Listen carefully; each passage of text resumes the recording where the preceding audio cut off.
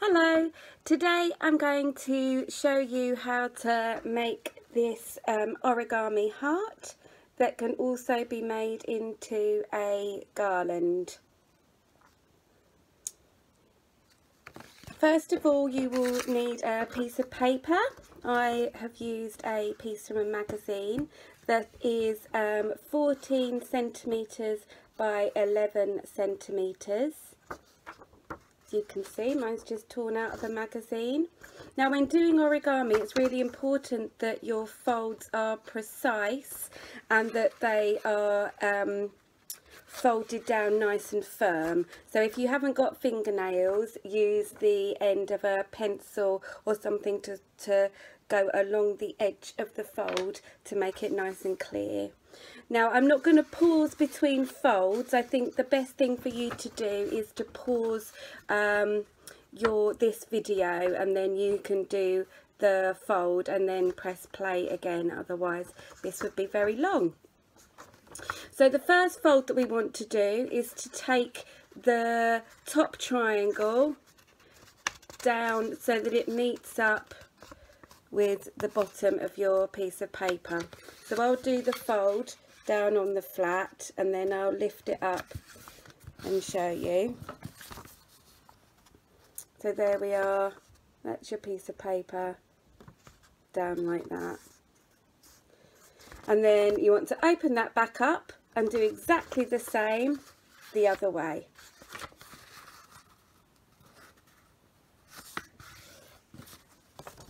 There we go, and exactly the same the other way. And you open and then back up again. So then the next fold that we need to do is to fold this piece so that this line here matches the fold of this line here.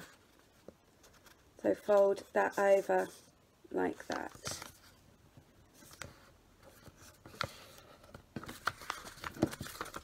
There we go. that line folds up like that. Okay, and then we unfold that fold here. And then you want to take this side all the way down to match up with this side here.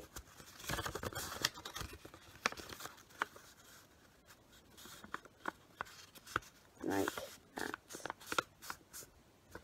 now you'll find it easier to do it down on a flat surface. I'm just holding it up high so that you can um, see what I'm doing. So you should have a little fold there and a bigger fold there.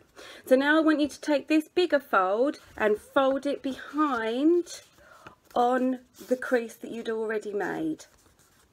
Okay, so if you turn your piece of paper round, that fold has just gone from the front round to the back. Yeah? So the front, you've got your little fold and then nothing because your fold is now at the back. And then unfold it. And now comes the clever bit. So hold it up with the little fold at the bottom and you will see that it will naturally push in. So the two sides will naturally push in so that you can fold it down to make a triangle. I'll show you that again. you can see that what I'm doing is I'm just pushing it in at the side, both sides, and it will naturally push in and go down to make a triangle. So the next thing that I want you to do is to fold this point here needs to come up to this point here like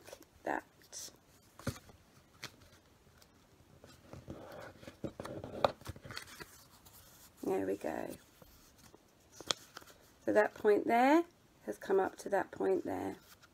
And then you need to do the same with the other side. So that point comes up like that. So you've got like a little square or a triangle in the middle. Okay. And then you need to fold these edges in like that. So that this edge here will match up with this edge here and this edge here will go right into the middle.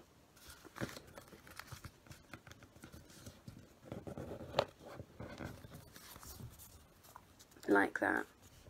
And the same with the other side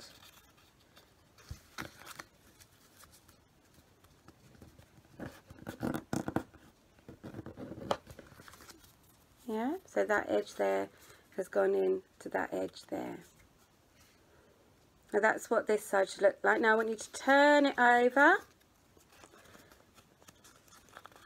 And I want you to fold down. So at the top you should have one triangle and then two pieces of a triangle. Now I want you to fold the top triangle down as far as it will go. I'll make the fold and show you. So that folds down as far as it will go. Yeah, so you've got a little gap down here and then that is in the middle.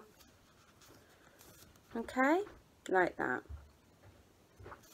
And then these corners here, we want to fold that corner up. I'll make the fold and then and then show you.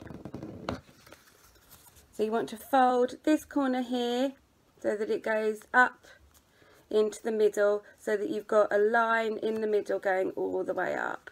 Alright, can you see that one? There we go. And do the same for the other side.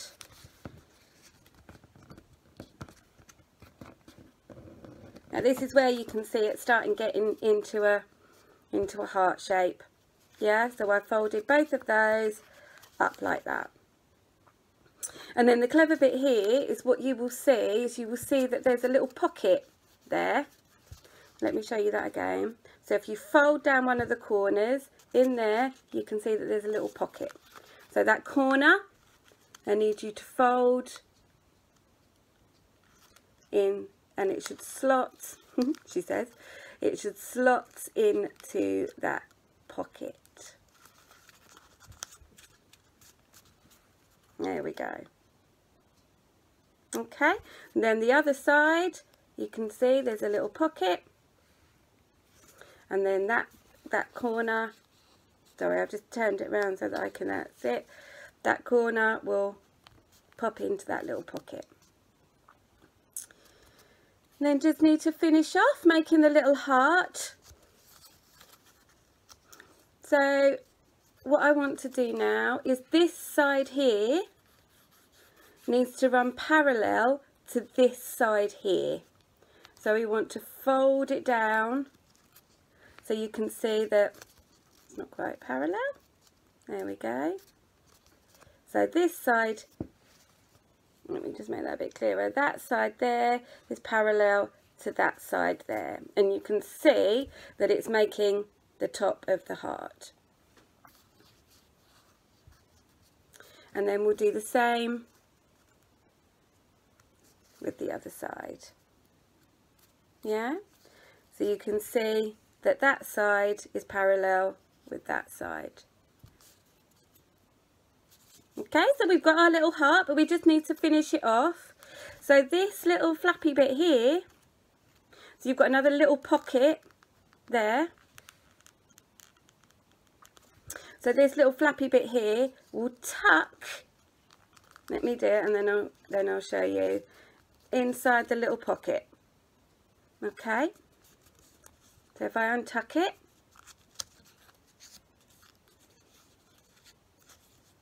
then you can see that it tucks. Sorry, it's really tricky doing it back to front. tucks in there. Oops not quite okay so that tucks in. And then we can do the same with the other side. That just tucks in into the little pocket there. And you've got your heart. So if you want to turn it into a garland but what you need to do before you tuck these bits in you need to get your piece of string and put it over where the little tucks are. Then you can tuck it in.